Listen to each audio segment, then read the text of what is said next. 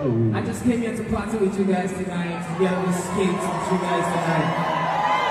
Because you guys are here tonight, we're about to have a new Wizkid concert right now. Let me hear you say yeah, yeah.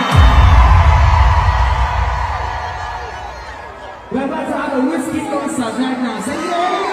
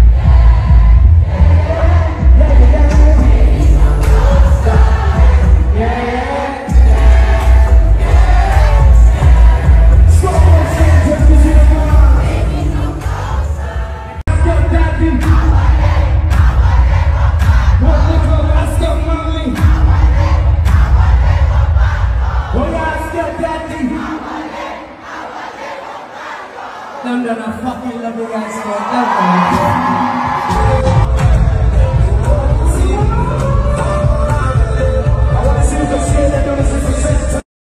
Wizkid must always come up with his own dance. Shana like this, all of us that dance this unavailable dance. So one thing I really love about the Afrobeat genre is how artists show love to each other by vibing to songs, shouting each other out and stuff like that. You know, it it's all love, honestly. And one thing Wizkid is never going to stop doing is showing love to his fellow artists. See, it's all love when it comes to African music. And I keep saying it. All these artists talk all the time.